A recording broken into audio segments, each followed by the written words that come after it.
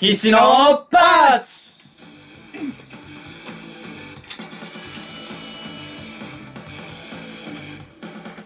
このコーナーは YouTube でもご覧いただけます。さあ、今週の必死のパッチはですね、静かに手振んで、一応ラジオだから。イエーイそうそうそうそう、ね、元気な岩崎くんと吉本くんがはい今日のメンバーです。今日はですね、番組恒例のこの企画です。クイズ、吉本くん。おー、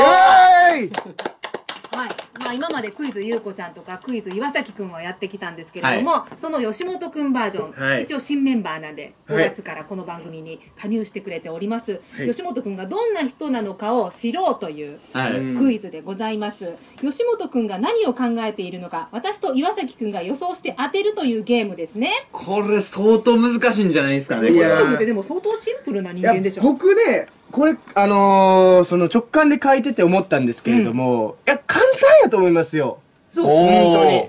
直感なんで、はいはいそんな、はいあ僕別におもろいこと書いてないんで。あもう本当に思った通りに書そいうていとかじゃなはいいてね、全然ボケてないんで。じゃあ早速やりましょう、はい。はい。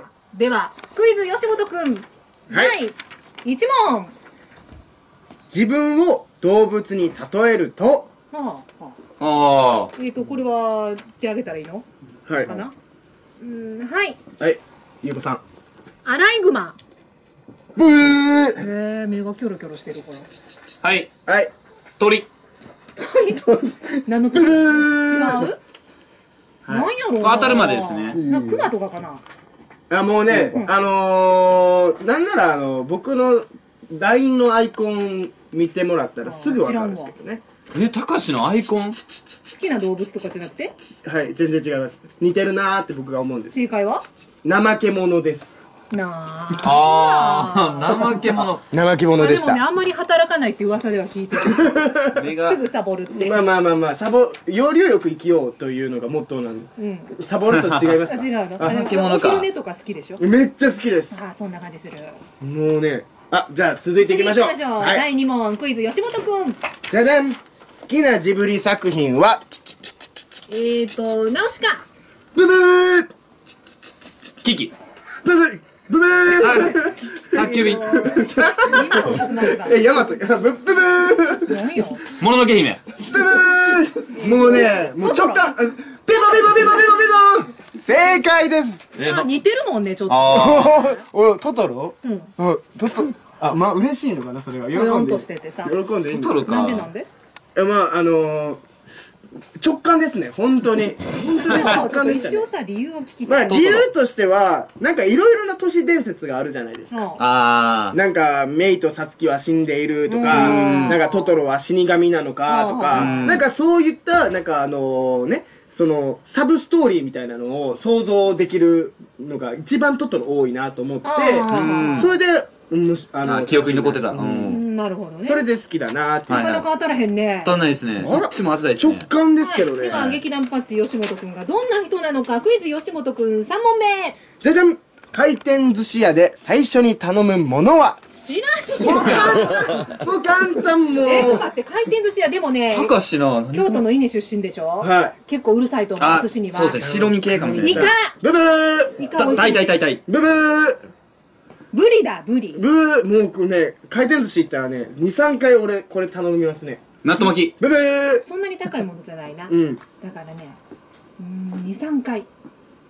納豆。ブブー。納豆巻き言うたら 納豆天丼ですか？それは。え大学芋とかそっち系。大学芋とかそっち系じゃない。サイドメニューじゃないサイドメニューじゃないサイドメニューじゃなあいヒントはヒントは貝類ですホタテブブーつぶ貝正解。おおえー。いやー。赤貝。って稲で取れる？いやつぶ貝はあんま知らないですね。取れないんじゃないですか？取れるのか？好きなの？あのね大体回転寿司行ったらずーっとつぶ貝回ってるじゃないですか。えー、そうかなずーっとなんかあ僕のイメージですけど売れ残ってるイあなるほどメージなんです人気がない。まあなんかかわいそうだなっていう気持ちとあとはねあの食感が好きなんですよね。コリコリっていう食うんわか感がるそれは、だからうんつぶ貝先に食べて、はいはいはい。ね、中盤でもう一回つぶ貝食べて最後につぶ貝で いいやん 一回の来店つぶ貝三回。食べたらいい三けど段落ちのつぶ貝ですよね分からへんわ。あれ？では、えーまだいけますかね。次の問題いきましょう。クイズ吉本くん。ブブン1年で一番嫌いな月は？1月から12月で？1月から12月です。6月。ブブー。12月。ブブー。4月。ブブー。何も11月正解！ビボビボビボビボビボビボ別にどんなに言うことないけどさえ11月に何があるもっと興味持ってください僕の予想なんですけど外がさ気温が寒いからかなっていういいあ近い近いあのね11月ってね一番微妙じゃないですかいきなり寒くなるしなんか10月半ばぐらいまでなんか暑かったのに残暑残ってたのに11月からいきなり寒くなって、まあ稲の11月は寒いやろねでいきなり風邪ひくんですよね僕大体11月で、ねあの舞台が終わった後とかで体調も崩しやすい時で風邪ひくしもう何もないじゃないですかあの月。紅葉も綺麗なシーズンだしね。いやでも紅葉とかあのあ紅葉いかなーと思ってたら終わってまうでしょ。まあ桜と一緒ですよあんなん花見行かなー思ってたら花見行きたいなー思ったらもう終わってるわみたいな。行きなさい。いやもうね いや行きたいなー思ったらすぐ終わっちゃうんでもう長いなー思ってあーあーまたやる？ラスト。やる？当たるかな？はい。じゃあラストクイズ吉本くんラスト3ポイントですからねこれ、はい。そうやね。早口言葉といえば。生麦生米ブ生ブブブブブあまずは来ましたアボアボジョブなんて？なんて？隣の客はよくかき食う客だ。えーんわかんない。わかんないよ。あこれはねあの上手に言ってごらんお茶たちょ茶たちょチャットたちょ茶たちょ青竹茶筅でお茶チャットたちゃ。上手よ。です。いやねもうあのウイロウリ。ウイロウリをやるんですよねやっぱそうり役者もやるの？アナウンサーだけじゃないんだ。やるんですよ。でこれが一番なんか可愛いじゃないですか。ウイロウリの中に出てくる言葉で。それでやっぱり早口言葉といえばっていうのですぐこれが出てきたんでこれだなっていういやさはい。もうだからどうしたっていうか。いや、もう僕は高志のことよくわかりました。改めて。いや改めてやっぱし。僕回転寿司行ったらつぶ貝の三段打ちやるからさうん。見とってな。なリアルに。見とく見とく。ぜひ。あ来たーっていう。